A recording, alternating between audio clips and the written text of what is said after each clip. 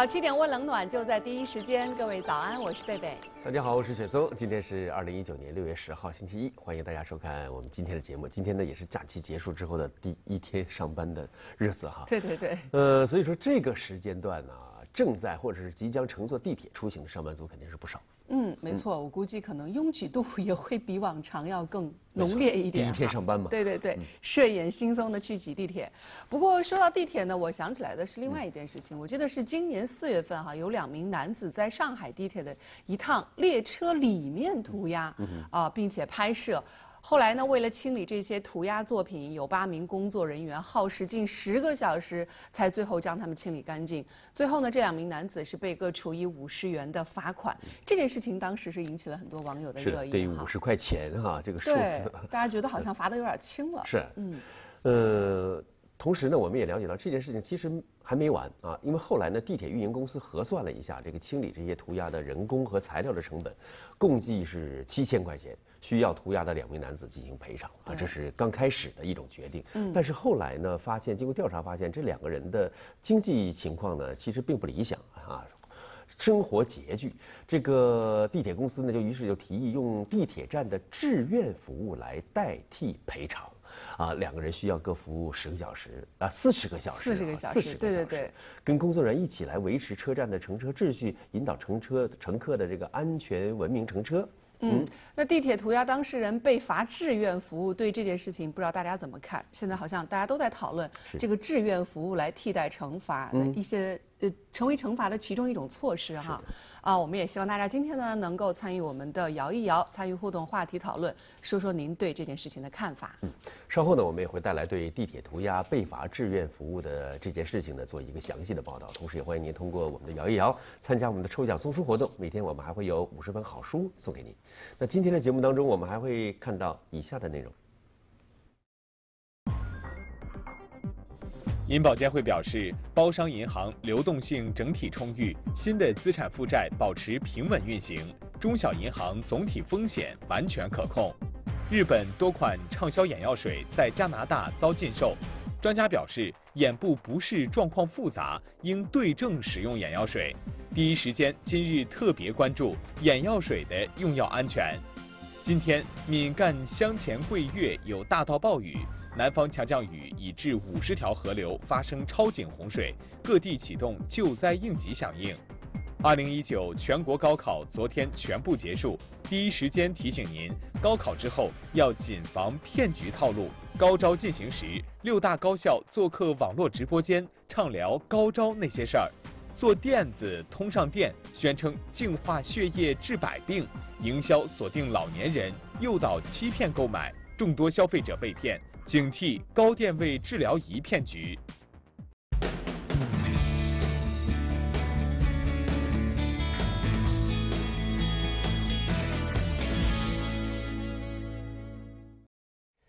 聚焦热点事件，搜索时事新闻，一起走进今天的新闻热搜榜。啊，今天登上时事榜榜单的新闻有：银保监会表示，包商银行流动性整体充裕，中小银行总体风险完全可控；应急管理部前五个月，啊，全国发生火灾是十一点五九万起。我们来了解详细的内容。中国银保监会新闻发言人昨天呢，就包商银行被接管以来的最新进展。以及中小银行等问题呢？答记者问，银保监会相关负责人表示，我国中小银行的总体风险完全可控。银保监会新闻发言人表示，按照新老划段原则，包商银行新的资产负债保持平稳运行。近日，该行发行期限六个月的同业存单十亿元，发行期限三个月的同业存单两亿元，发行利率分别为百分之三点二五和百分之三点一五，同业业务已恢复正常。目前，大额债权收购和转让协议签署工作已经顺利完成。下一步将在确保包商银行正常稳健经营的前提下，适时启动清产核资工作。针对市场上有关部分中小银行风险的传言，银保监会表示，当前中小银行运行平稳，流动性较为充足，总体风险完全可控。少数中小银行未按时披露年报属于特殊情况。相关银行有的正处于股权重组阶段，有的正在筹备上市，有的更换了审计师，任务量较大，未能按时完成审计工作。这些情况已按规定向监管部门进行了报告，监管部门将督促相关机构加快推进审计工作，尽快披露年报。应急管理部消防救援局昨天公布了今年前五个月全国的火灾数据。今年一至五月份，全国共发生火灾十一点五九万起。应急管理部消防救援局统计数据显示，今年一至五月，全国共发生火灾十一点五九万起，造成六百一十五人死亡，三百一十七人受伤，直接财产损失十四点一八亿元。与去年同期相比，分别下降百分之七点九、百分之二十三点一、百分之二十七点三和百分之十三点六。其中，较大火灾二十五起，比去年同期减少十五起，未发生重大和特别重大火灾。以五月份为例，五月份全国共发生火灾一点九九万起，造成一百零七人死亡、三十七人受伤，直接财产损失二点一七亿元。与去年同期相比，起数基本持平。伤亡人数和损失均有所下降，其中较大火灾八起，比去年同期减少三起。记者通过对全国五月份火灾数据进行剖析，发现东部和中部省份火灾有所增加。东部省份发生火灾六千九百七十二起，比去年同期略有上升；中部省份发生火灾五千一百起，比去年同期增加两成多。而西部省份和东北省份火灾均有下降。从火灾原因来看，电气故障引发的火灾最多，占到了近三成。从起火时间来看，夜间火灾造成人员伤亡较为突出。夜间，特别是凌晨两点至四点的火灾，是最容易造成人员死亡的时间段。仅这两个小时内的火灾，造成人员死亡数占全天的四分之一以上。八起较大火灾也有四起集中在这个时段。另外，农村地区火灾相对多发，占火灾总数的一半多。五月份发生的八起较大火灾中，五起发生在农村，三起发生在城市。记者在梳理全国五月份火灾数据时，还发现，五月份全国消防救援队伍灭火出动次数与去年同期基本持平，出动总量比去年同期增多。媒体先搜了新闻再发现，进入今天的媒体新势力。我们先来关注于网络上的一个热点新闻。那这两天的一则日本多款畅销眼药水在加拿大遭禁售的消息刷屏网络，引起了广泛的关注。那到底怎么一回事呢？事实上啊，早在今年四月中旬的时候呢，就有媒体爆出了几款来自日本的畅销眼药水在加拿大遭遇禁售。加拿大卫生部公布的信息显示呢，一共有六款来自日本的眼药水和治疗痤疮的药膏遭到了下架，其中包括参天 FX 以及 PC 在内的畅销眼药水。加拿大卫生部认为呢，这些产品当中含有属于处方药的成分，应该在医生的指导下使用，否则的话可能会引发严重的副作用，危害使用者的健康。目前呢，加拿大卫生部已经把这六款产品从药店下架，同时禁止药店在网上售卖，建议消费者停止使用这几款药品，并禁止产品进入加拿大市场。那刚刚提到的这几款日本的眼药水，相信电视机前的您看了也非常眼熟哈。或许家里面哎就有那么一两支。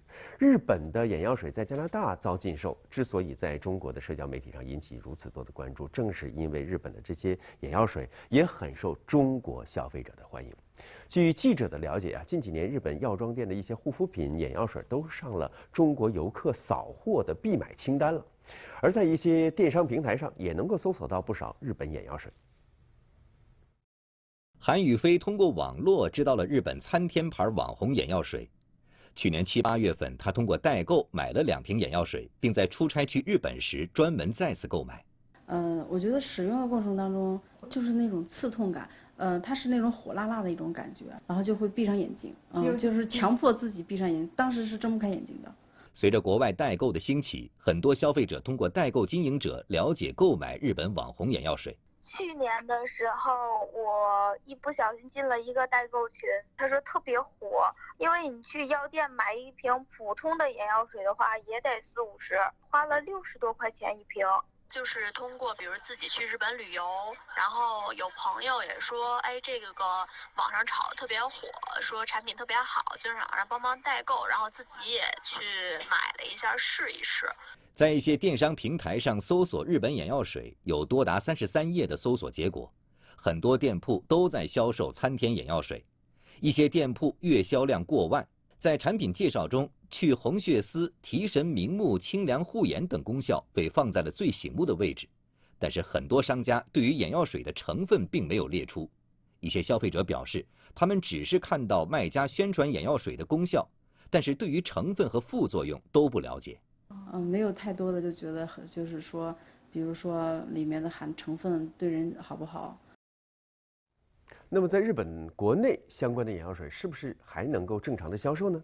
日本眼药水的市场情况如何？购买使用有没有限制的要求呢？外国游客到了日本想要购买当地的眼药水，又该注意哪些问题？我们来听一听正在日本东京的我们财经频道的特约记者王翔的介绍。那目前在日本国内呢，我们还没有看到有这个日本媒体针对这些眼药水质量问题的报道。那么在市场上呢，目前来说还是可以正常销售的。眼药水在日本呢有处方药也有非处方药。那么在这次报道中出现的这几种眼药水呢，属于非处方药。非处方药呢，它在日本根据它的副作用和风险程度呢，又可以被分成第一类、第二类和第三类。那么在药品的外包装上面呢，都可以看到这样的一个文字的标识。那么第一类的风险呢是最高的，然后呢依次递减。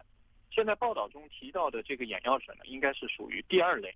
那么日本的药妆店在销售这些非处方药的时候呢，有两类人员是有资格来卖药的。那么首先呢是药剂师，他可以销售各类非处方药。那么另一种呢是这个注册销售员。那么如果胸牌上挂的是注册销售员呢，那么他就只可以来销售风险相对比较小的第二类和第三类的非处方药。相关的这些眼药水本身呢，销售的主要对象呢还是日本的这些消费者。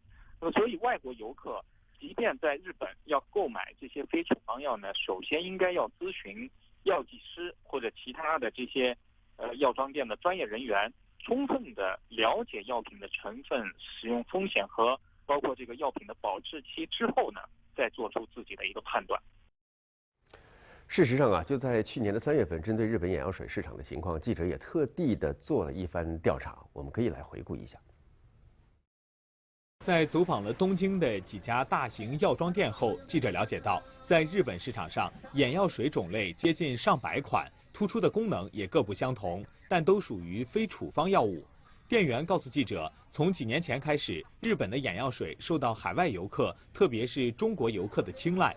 现在多的时候，一天就能卖出近百瓶。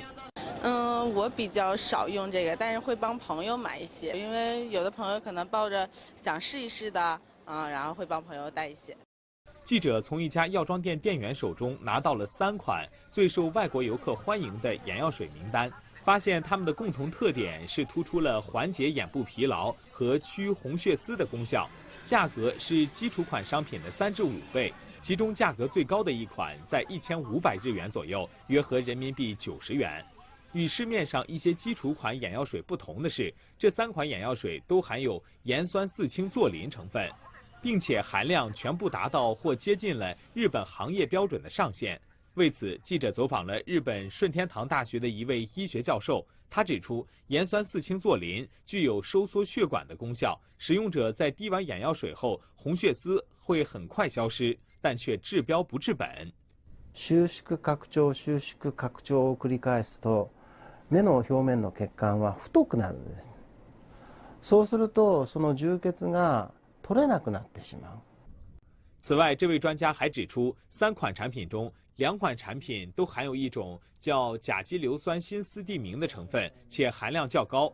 这种成分有收缩瞳孔的作用。 会让人在短期内感觉眼部疲劳得到了有效缓解，但频繁使用会造成睫状肌功能异常，导致各类眼部疾病。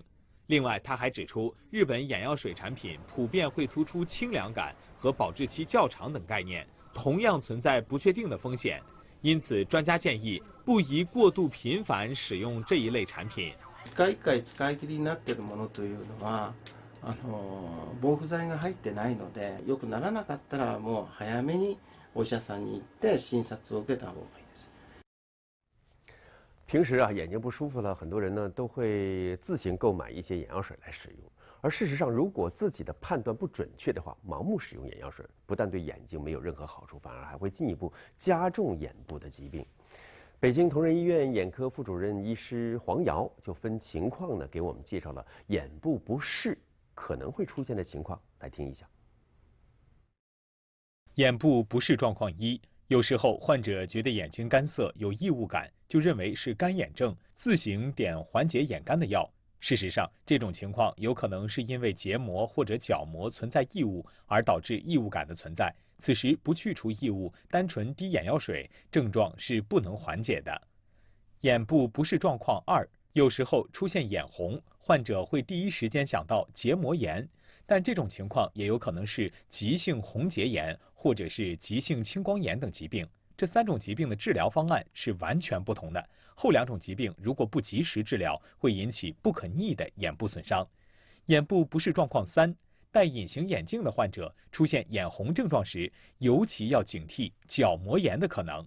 角膜炎如果没有及时治疗，严重者可能出现角膜溃疡，甚至角膜穿孔等威胁视力的严重并发症。眼部不适状况四。有时候出现眼部酸胀，患者以为是视疲劳，自行滴缓解视疲劳的眼液，但这有可能是青光眼引起眼压升高而导致的眼疼。另外，还有一点特别值得注意，那就是激素类药物的使用。激素类眼药呢，它是一把双刃剑，有时候呢，我们医生会根据患者的病情让患者使用这个药物呢，激素它效果很好，所以。这以后呢，可能患者他一出现这种眼部不适的情况，他就会自己就去使用激素。而激素这种眼药水呢，它如果长时期的使用，它会引起青光眼、白内障等等一些眼部的并发症。所以呢，我们医生一般是建议患者激素药物呢是绝对不能随便乱用的。另外，黄医生还提醒，有时候眼红眼痛，尤其是眼部术后患者出现此种情况，有可能是眼内炎的可能。这个疾病是非常凶险的，一定要及时到医院就诊，否则严重者可能会出现眼球摘除的结局。医生同时提醒，只有确定了眼部症状之后，才能够针对性的购买眼药水。如果是明确的干眼症，可以买人工泪液一类的眼药水。如果患者有常年的季节性过敏性结膜炎的疾病，出现眼部红痒的过敏症状时，可以买抗过敏的眼液。如果是明确的视疲劳，可以买缓解视疲劳的眼液；但如果是明显的眼部炎症，更得提高警惕。如果是眼部它出现了一些明显的炎症的反应，这个时候呢，它情况就比较复杂了，呃，有可能是细菌感染，也有可能是病毒感染，或者呢是真菌感染。这个时候呢，我们就是建议患者一定要到医院去就诊，然后根据医生的医嘱对症用药。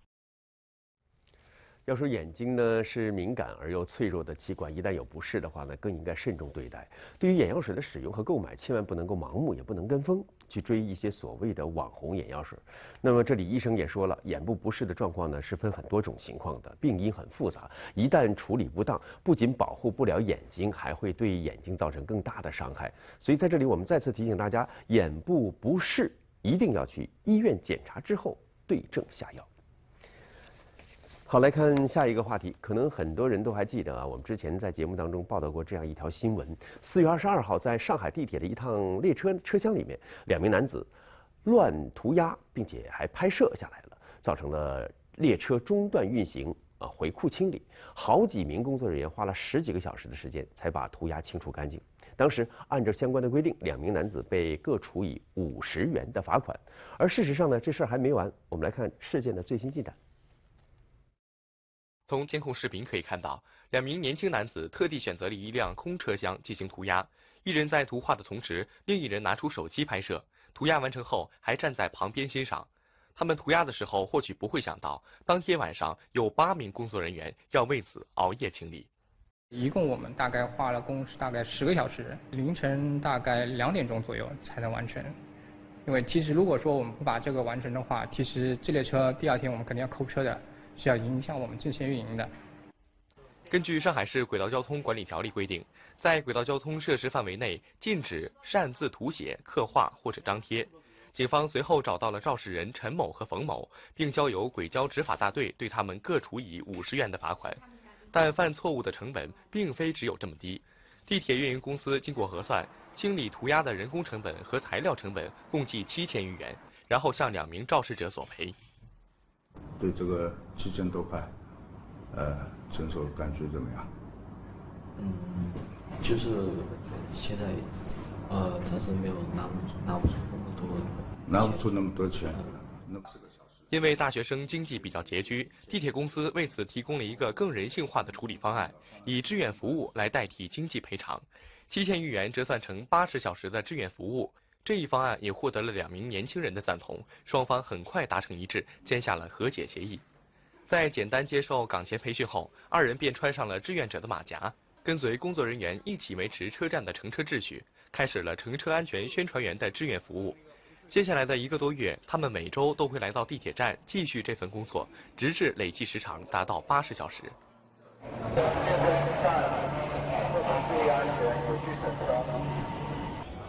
门灯闪烁，请勿上下列车。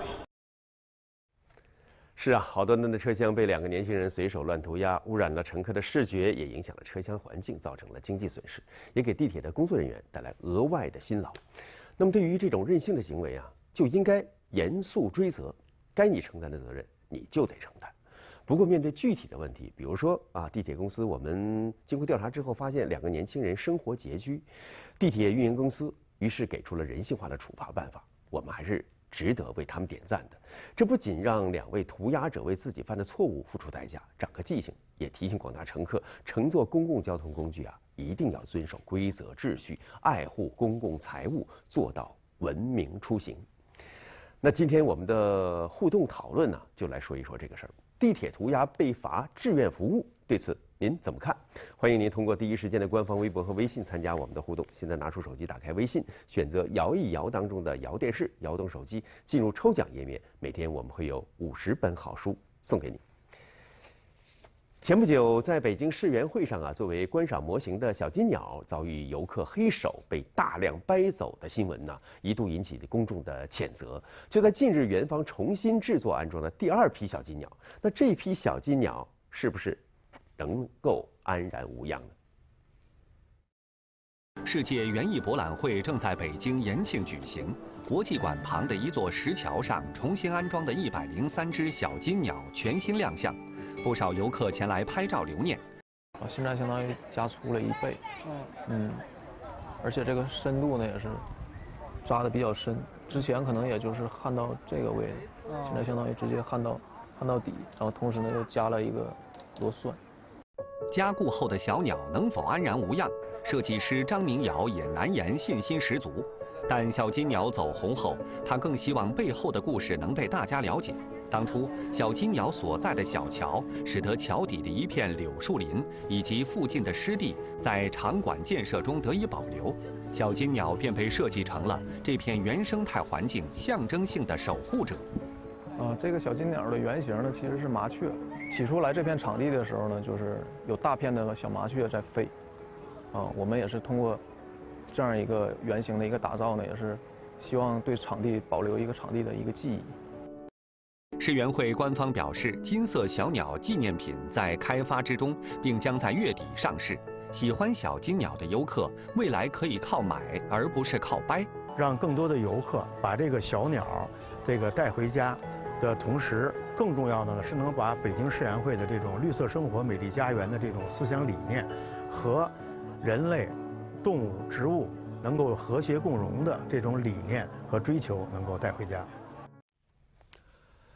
金色小鸟被掰走，园方开发出了小鸟纪念品，让喜欢的人买回家。但是这个做法呢，能不能让栏杆上的金色小鸟安然无恙，现在还很难下一个定论。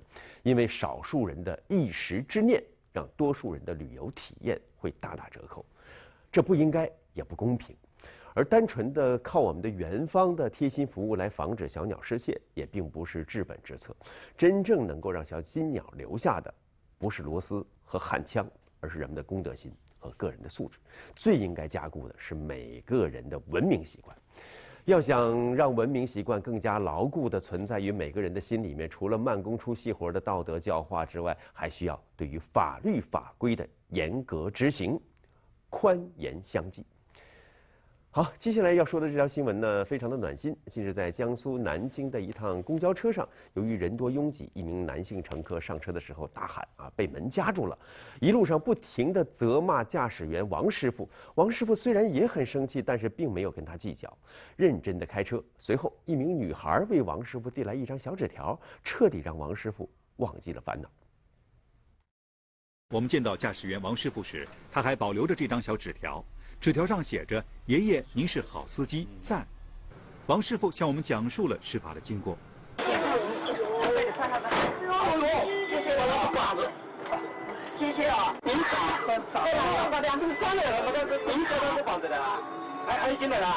下面的乘客特别多，后来人就上不来。这个乘客呢，他是最后一个上来的。最后上来的，我就是小心翼翼的关门的时候，就听到他讲：“哎呦，哎呦。”然后我就把门关起来，我就给他看看，就没有什么事，我就起步走了。他上来就骂骂咧咧的，嘴里带个脏话。我不晓得我看你我看你我正儿八经，我不想，我不想跟你了，就是。哎，你家开车子啊？然后就有乘客在个指点他，指点他，他就跟乘客跟乘客吵。后来王师傅调取车上监控，发现当时只是人多拥挤，车门并没有夹到该男子。当时就一定心里想，一定要保持克制，这么一车一车人的一个乘客的安全。就是不能有冲动。王师傅说：“没想到一直站在他旁边的小姑娘会掏出笔记本，默默写下一句话，下车时悄悄放在操作台上。这份理解让他感觉很温暖。”王师傅开了十二年公交车，他说：“这样的委屈不是第一次，当然也有自己疏忽、照顾不到乘客的地方，也请大家体谅。”拿了纸条，我感觉心里心里暖暖的，眼泪都都要出来了。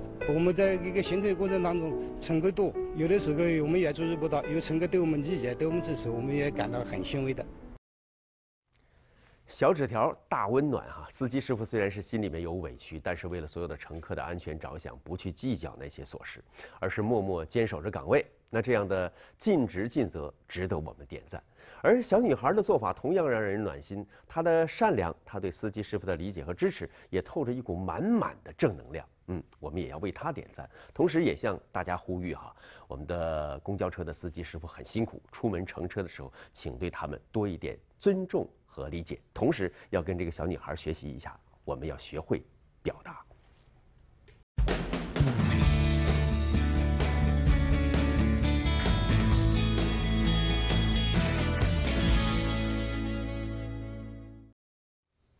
今天第一时段的看天下呢，我们要重点来关注一下南方的强降雨天气。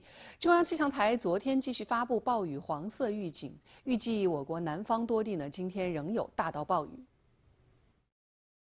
中央气象台九号继续发布暴雨黄色预警，预计今天福建大部、江西南部、湖南南部、贵州南部、广西北部、广东北部等地有大到暴雨，其中部分地区大暴雨，局地还伴有雷暴大风等强对流天气。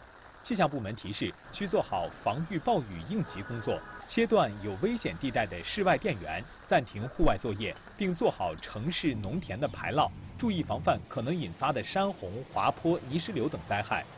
此外，来自水利部的消息，受近期强降雨影响，江西信江中游、赣江中游、福建建溪、富屯溪、沙溪及闽江干流上游等五十条河流发生超警洪水，超警幅度零点零二至四点八二米。其中，广西桂林湘江上游支流万江河。柳江支流六曼河和江西赣江支流周湖水等三条中小河流发生建站以来最大洪水。从八号晚上开始，广西桂林市资源县遭受暴雨袭击，多个乡镇的河流水位暴涨，道路受阻，部分乡镇通讯中断。目前呢，当地正有序组织开展抗洪救灾工作。昨天上午，桂林市资源县气象台及水文水资源局分别发布了暴雨红色预警和洪水黄色预警。洪水造成河流水位上涨，农田和道路被淹，当地已启动防汛四级响应。受强降雨影响，瓜里乡、车田苗族乡等地还出现多处塌方。灾害发生后，当地相关部门立即开展排险抗灾，并对相关路段进行实时监控，防止发生二次灾害。在资源县江口村，由于突降大雨，有两人被困山上。接到报警后，当地消防人员携带安全绳、救生衣、挂钩等救援工具前往救援，将两名被困人员转移至安全区域。截至昨天下午，当地已成功转移救援被困群众九人。我们再来看看江西省的情况。昨天，国家减灾委应急管理部针对江西省吉安、上饶等地的严重暴雨洪涝灾情，紧急启动国家四级救灾应急响应，派出工作组赶赴灾区实地查看灾情，指导和协助地方做好救灾工作。同时，应急管理部向灾区紧急调拨两千顶帐篷、一万张折叠床和两万床棉被等中央救灾物资，支持做好受灾群众的基本生活保障工作。据江西省应急厅报告，六月六号以来，赣东北、赣中等地呢出现强降雨，局地有特大暴雨，部分河流发生超警戒洪水，引发严重的洪涝灾害。截至九号十一点统计，灾害共造成吉安、上饶、鹰潭等九。九市四十五个县市区，九十一点七万人受灾，因灾死亡六人，失踪一人。那近两天呢，由于持续的暴雨，江西吉安多个乡镇的是水位暴涨，部分村庄被淹，村民被洪水围困，当地迅速启动防汛的四级响应，开展抢险救援工作。六月八号凌晨，吉安县横江镇范家村的一个紧邻河边的村小组受强降雨影响，河水暴涨，几乎淹没了整个村子，积水最深处达三米多。村小组近百名群众受困，情况危急。早上五点来钟，那些群众就起来，一推开门就全部是一面一一片汪洋。从八号凌晨五点三十分开始，由消防人员和镇村干部组成的应急救援队就开始转移被困村民。一个多小时后，村小组近百名村民被安全转移。截至昨天，范家村十四个村小组的五百二十名被洪水围困的村民已经全部转移到安全地带。我们再把视线转向福建。昨天上午，福建三明气象台两次发布暴雨红色预警，清流县部分地区呢出现了三小时超过一百毫米的强降水。通过当地居民拍摄的视频看到，三明市清流县的河流水位上涨，已经淹没了沿河地势较低的区域。县城内的部分道路也出现了超过成人膝盖的积水。目前，清流县已拉响防汛警报，当地交通、电力等部门出动抢险。在三明市泰宁县朱口镇，昨天凌晨发生了一起塌方事故，初步估计塌方量约八九百立方米，一些泥水淹没村道，涌入村民家中。塌方出现后，朱口镇相关部门立即赶往现场，组织人员对村民进行转移，并调集大型机械进行清淤。目前，受影响的十四户村民已全部转移并得到安置，没有造成人员伤亡，道路清淤工作已基本完成。在福建三明建宁县，全县有十七个站点，二十四小时降雨量呢超过两百毫米，八百八十五名群众被紧急转移。八号晚上十一点，建宁县紧急启动防暴雨三级响应，所有乡镇立即组织干部深入地质灾害隐患点、低洼地带、河道护岸进行排查，转移危险区域群众。受上游强降雨影响，昨天上午建宁城区睢溪河水位上涨，一些步道被上涨的河水淹没，路灯的灯杆只剩一半露出水边。建宁县城监察大队工作人员在沿河步道各入口设置警示牌，拉起警戒线。截至昨天下午一点半，城区睢溪河水位达二百九十一点六米，超警戒水位零点一五米。八号晚上的强降雨引发山洪，导致建宁县黄埠乡贵阳村一些房屋被淹，洪水浸泡过的房屋一片狼藉，淤泥随处可见。强降雨还导致贵阳村的农田基础设施受损严重。当地党员干部冒雨深入各个受灾点，核查民房、农田、道路受损情况，组织人员开展抢险救援工作。种植的烟叶、莲子、自种的，那个田面呢都冲掉很多，那个农房也造成进水，造成损失。我们现在最主要的就是了了解灾情，组织群众那个灾后自救。截至九号，强降雨导致建宁全县九个乡镇受灾，全县紧急转移群众八百八十五人。我们看到，由于持续的暴雨，南方多地相关部门都启动了应急响应，并且提醒人们出行的时候需要注意防范泥石流等灾害。那么，除了泥石流，在暴雨和大风天出行还有哪些安全事项需要注意呢？我们栏目在此前的报道中曾经为大家梳理过，我们再来了解一下，希望对您的出行带来帮助。暴雨天出行，请您收好一份安全指南。行人步行。指南一：雷雨闪电时不要拨打接听电话，最好关机。指南二：不要接近一切电力设施，如高压电线、变压电器等。指南三：暴雨可导致井盖冲开及路段塌陷，应注意观察，小心前行。指南四：行走时要与高层建筑保持一定距离，避开广告牌、玻璃等可能的高处坠落物。骑车出行，指南一。在立交桥处应远离深水，远离车辆，不要穿行于汽车间，选择地势较高处，安全慢行。指南二：路况不佳时，最好推车步行。驾车出行，指南一：尽量避开容易积水的路段，路遇较深积水路段，不要强行通过。指南二：遇特大暴雨时，千万不要冒险行驶，应该选择较高的安全地带停车。其实说了这么多，暴雨防御指南一共有九个方面。分别是切断电源，小心触电；转移人员，清理下水道，小心坑洞，注意坠物，疏散交通，避开铁塔，不要骑车。你记住了吗？此外，遇到任性大风天，我们又该如何应对呢？指南一：少骑自行车。大风天气一旦侧风向骑行，有可能被大风刮倒，造成身体损伤。指南二：谨慎开车。大风中行车时，应适当放慢车速，注意车辆的横向稳定性，减少超车。指南三：出门戴口罩，保护好呼吸道，避免感冒、气管炎、肺炎等疾病，建议佩戴纱布口罩。指南四：异物入眼别揉，揉眼易使异物划伤眼角膜。端午假期结束了，那上班路上的天气会是怎么样呢？接下来我们就来连线一下气象主播伟伟，给我们具体介绍一下。伟伟，早上好。早上，贝贝。新的工作中呢，最值得我们关注的天气方面的关键词还是暴雨啊。不过呢，相比于之前这个强降雨，它将会发生一个转移，会逐步的南压。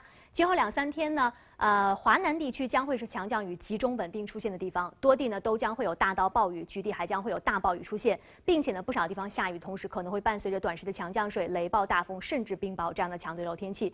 主要是因为副热带高压呢稳定的出现在台湾岛的南侧、海南岛的北侧，又因为北方呢持续有冷空气南下和暖湿气流的交汇带呢将会稳定的出现的华南，所以说新的一周呢华南将会是暴雨的集中区了。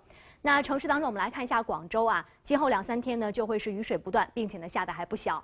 目前呢正是这个龙舟竞渡的高峰期啊，提醒大家一定要注意防范强降雨的不利影响。呃，无论是龙舟竞渡还是旅行，都要注意防范，注意安全。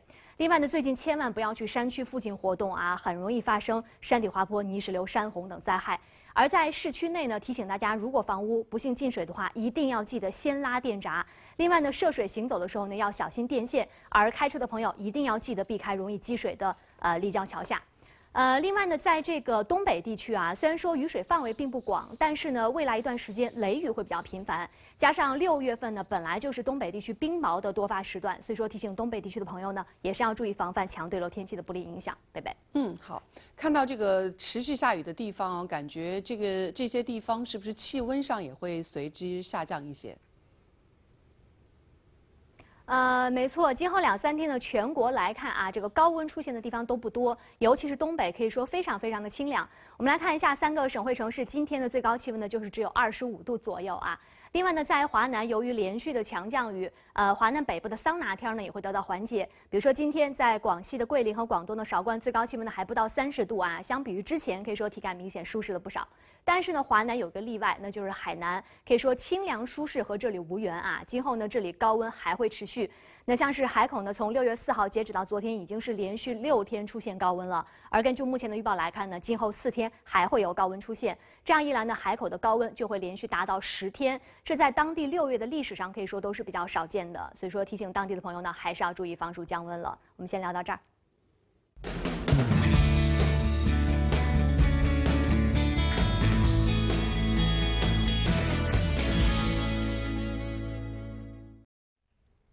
九号为期两天的二十国集团财长和央行行长会议在日本福冈闭幕。当天呢，会议发布了联合声明，发表了与会各方对全球经济形势的预判。声明说，全球经济面临下行风险，强调各国协调应对全球性风险的重要性。声明预计，世界经济将在今年下半年至明年企稳回升。不过，声明同时指出，世界经济仍面临下行风险。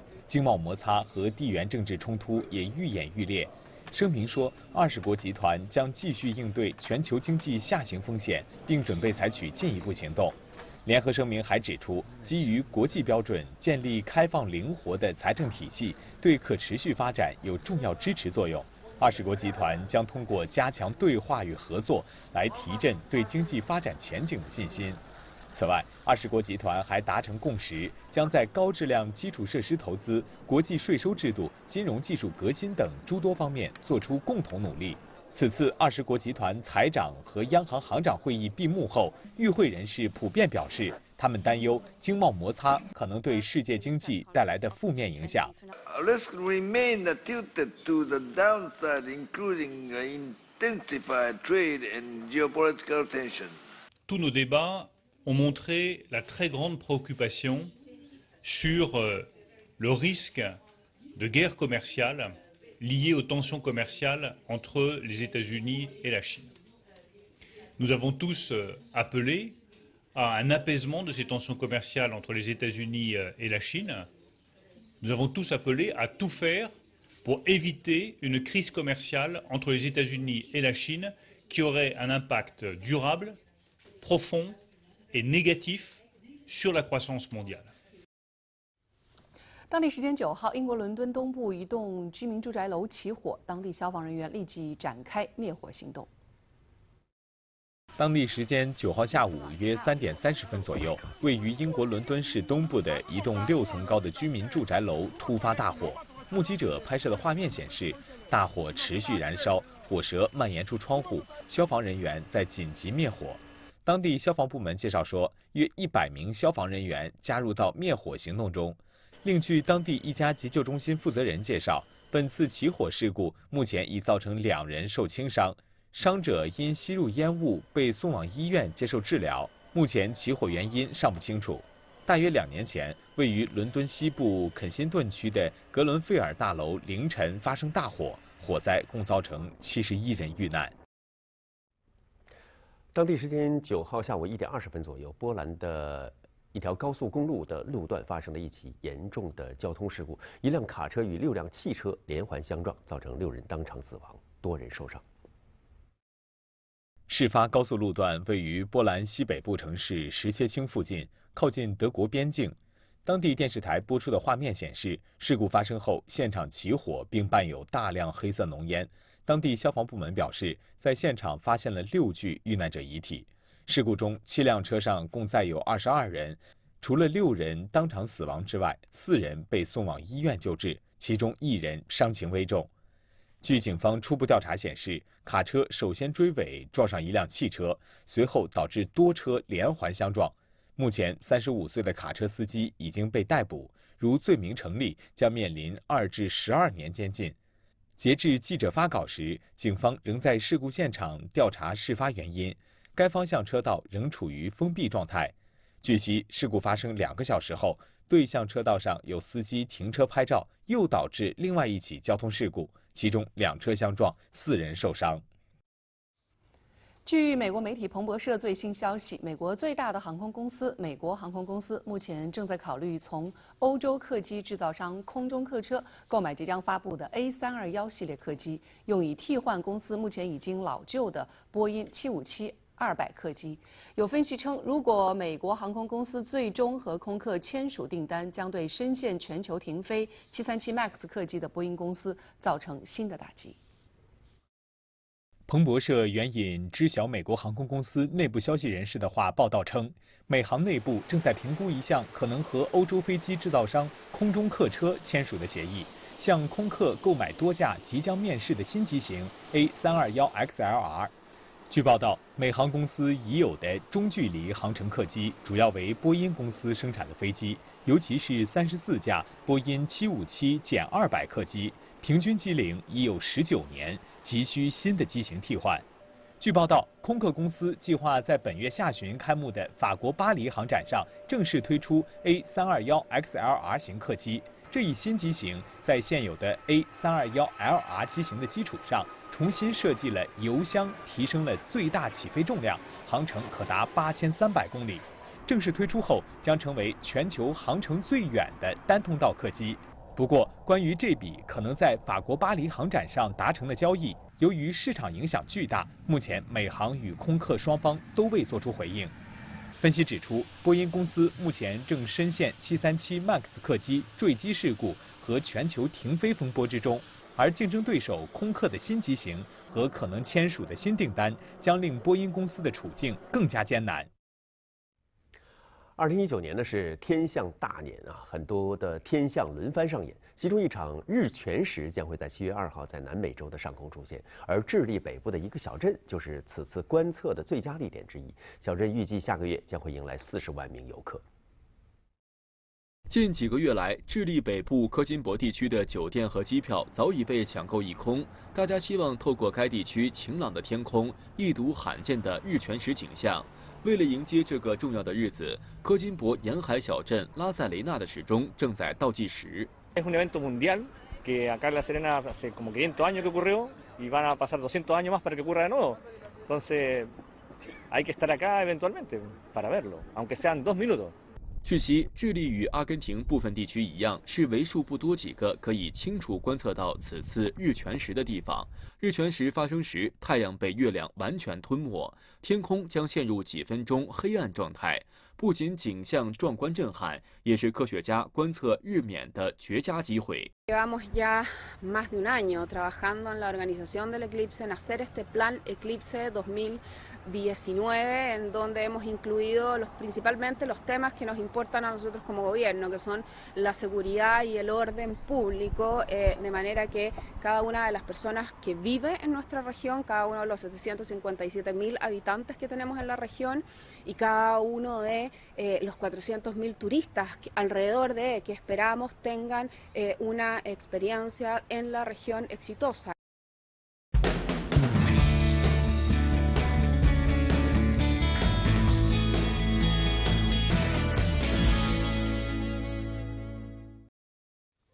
二零一九年全国高考昨天已经结束了啊，从今天开始啊，各地高考的阅卷工作将陆续展开。目前呢，已经有十多个省份公布了高考成绩查询的时间，多数省份查分的时间定在了六月下旬。嗯，那目前呢，学生和家长都进入到呃这个等分和填报志愿的环节，所以焦急等待的这段时间呢，有些诈骗的陷阱就要注意防范了。那我们的栏目编辑呢，也为大家总结了一下，希望能够引起考生们和家长们的警惕。陷阱一：虚假大学。这些学校一般是仿冒正规高校的名字，在互联网上设立虚假招生网站，听上去很熟悉。学校简介也都是抄袭拼凑而成，抓住考生及家长低分上名校的心理，从而实施诈骗。陷阱二：谎称有内部指标。骗子会自称是高校或省招生办某领导的熟人、亲戚、朋友，声称分数低没关系，有钱就包你上大学。陷阱三：伪造录取通知书，骗子会向考生寄送伪造的录取通知书，让考生或家长将学杂费提前打入银行账号。陷阱四：冒充高校招办人员，骗子会伪造文件、私刻印章，设立报名处和咨询电话，诱骗学生及家长填报志愿。在取得信任后，会强调录取的难度，暗示考生及家长慷慨出手，往往一交钱再也找不到人了。陷阱五：以助学金做诱饵，在录取过程中，骗子还会冒充高校负责人，声称在了解考生的家庭情况后，可以帮忙申请助学金或者发放奖学金，但先要考生缴纳一定金额的报名费。警方提示：这些骗局陷阱虽然花样繁多，但套路几乎都是一样的，就是要你提前掏钱。学生和家长们应时刻牢记。通过官方正规渠道查询高考分数和录取结果、志愿填报、缴纳费用等，都要走正规程序，时刻保持警惕，以防落入骗局。下面的内容呢，就是我们的高招进行时板块啊。昨天早上，我们的节目当中为大家带来了复旦大学的招生信息和精彩校园生活的介绍。而在下午，在我们的高招进行时的网络直播当中呢，又会请来复旦大学、中科大、西安交大、北京理工、中国政法大学以及中央财经大学六所高校走进演播室。对，在昨天的网络直播中，六所高校的招生办老师就自己学校的招生规划、还有优势专业培养计划以及国际学术交流等等多个方面，向网友们进行了介绍。在谈到新增专业的时候，大数据等专业成为了热门话题。究竟还有哪些干货信息对于大家会有帮助呢？我们来回顾一下。大数据科学，大数据科学，大数据科学与大数据技术，人工智能。呃，数据科学与大数据技术，以及我们的智能制造工程，就是一个专业多种培养模式啊。呃，把法学这个专业精耕细作。除了介绍本校今年的新增专业，几位招生办老师还聊到，为了拓展学生的培养计划，各大高校纷纷开展了同国外院校联合办学的项目，增加了学生出国交流的机会。联合办学计划有一个学期的交换生计划，三个月的大学生研究计划，还有几周的访学计划，不同计划都可以支持我们出国交流。那么我们这个学校去去年和前年所有申请出国交流的同学都获得了资助，百分之百获得了资助。所以我想在科大啊出国交流不成问题。在复旦的话，现在我们提出的目标是到就是明年，基本上让每一位本科生，只要你有出国交流的意愿，都可以出国交流。那么学校现在每年实际上提供给学生的，特别是本科生出国交流的机会，大概是两千人次。而在网友比较关心的高校就业率方面，在场的嘉宾也给出了答案。啊，只要你能够进入一所非常著名的大学，啊，其实就业是不成问题的。嗯。呃，我们可以用一个数字来表达，就是有八个工作岗位在争夺一位呃西安交通大学毕业的本科生。哇！啊，其实因为我们的本科生呢，大概接近百分之七十是深造的，啊，只有百分之三十左右的学生在选择本科毕业就业，啊，因此属于供不应求。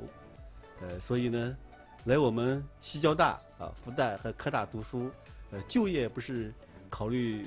的一个首选的问题是到哪里去就业啊？如何选择更好的发展前景的职业，是你该考虑的问题。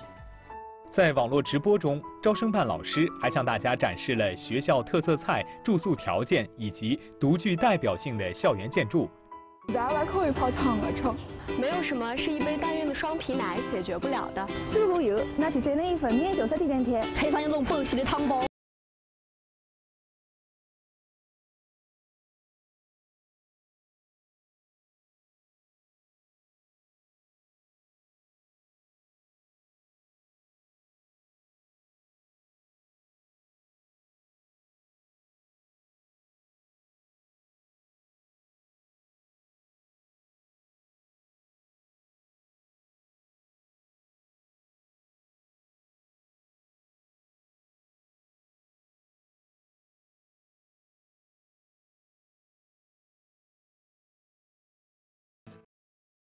哇，好怀念校园的时光啊！那今天的高招进行时呢，我们要带您走进的是中国科学技术大学。中国科学技术大学呢是坐落于合肥，是中国科学院所属的一所以前沿科学和高新技术为主，兼有特色管理和人文学科的综合性全国重点大学。那么今年的中科大呃招生计划和专业情况如何呢？接下来我们就来了解一下。大家好。去年，中国科大刚刚度过六十华诞，在新甲子的开局之年，中国科大将一如既往，继续坚持精品办学、英才教育的理念。作为首批双一流建设高校，我们十一个学科入选一流学科建设名单，涵盖了数理化、天地生等所有基础学科。今年我校依旧保持一千八百六十人的招生规模，以保证每位同学。都能够享受优质的教学资源。我们坚持因材施教、有教无类，在全国率先实现本科生百分百自主选择专业。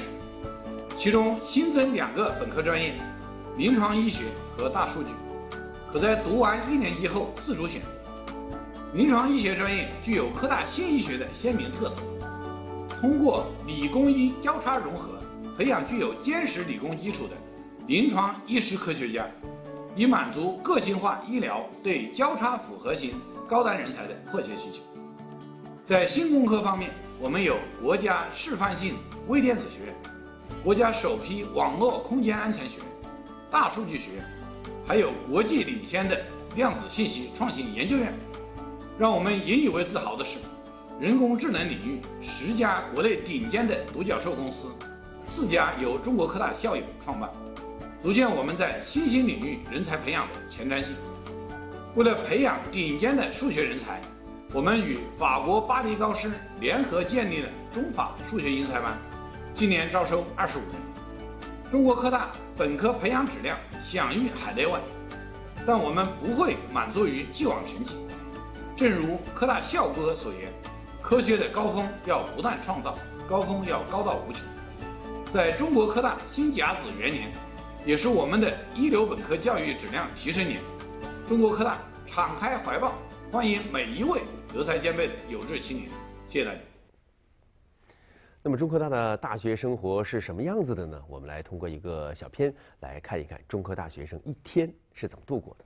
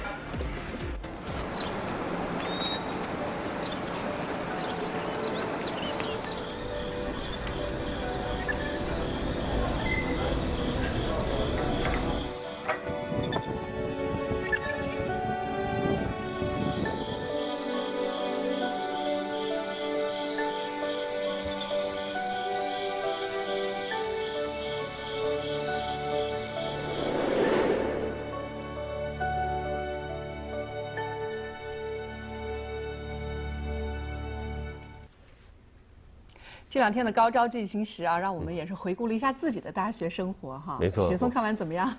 哎呀，我一下陷入到回忆当中了。而且这个高招进行时，对我们来说就是回忆哈。对，回忆青春，回忆校园。我看现在孩子们这个生活真好，食堂的伙食也对对，伙食真好。我就觉得他们宿舍条件也特别好。那个时候我们都是一个人八个人挤一个宿舍，我看现在住的也都很宽敞了。哎，你说的拥挤哈，当时我记得还要去图书馆抢座位，对，去教室抢座位。我不知道现在的孩子们 还有没有抢座位的经历了哈，因为现在教学设施越来越好了。对，但我觉得好像我们那样时候美好回忆也挺好的哈，都是一段难忘的经历。对，我们也祝福每一个考生都能够考上自己理想的学校，迎来自己美好的明天。接下来我们来关注另外一个话题啊，海洋水体污染。呃，相比陆地上越来越完善的这个排污处理系统啊，其实海上的这个生活污水大多是直接排放的。可能有人会觉得，你说大海那么大，对啊，你说排点这些生活污水应该不算什么吗？但是事实真的是这样吗？广东阳江海陵岛是中国十大最美海岛之一，除了旅游业，渔业也是当地重要的经济支柱。与热闹的景区不同，在闸坡旧澳湾一带，游客不算很多，一个个鱼排向大海铺开，这里是当地渔民进行网箱养殖的集中地之一。我差唔多廿年啦，二十年左右，有青魚啊、頭顱啊，即咁。都仲都都都贏到乜乜地都 有噶，一般早早上翻嚟咯，晚上都都五六點鐘咪翻起咯，就咁。黎师傅说，现在留在鱼排生活的渔民已经很少了，鱼排更多时候是他们工作的地方。不过这里工作的卫生环境就真是一般，尤其是厕所。一般廁廁所都係咁簡單㗎。嗯，即係點樣幾塊木遮住？係遮住都算啦。记者发现，这样的厕所非常普遍，几乎每个鱼排上都有一个。一些鱼排还会有个小厨房用来做饭。记者登上了一个稍大一点的鱼排，尽管这里的环境看上去好了很多，不过厕所依然简陋，只是地板中间的一个洞，排泄物就是通过这个洞直接排到大海里面。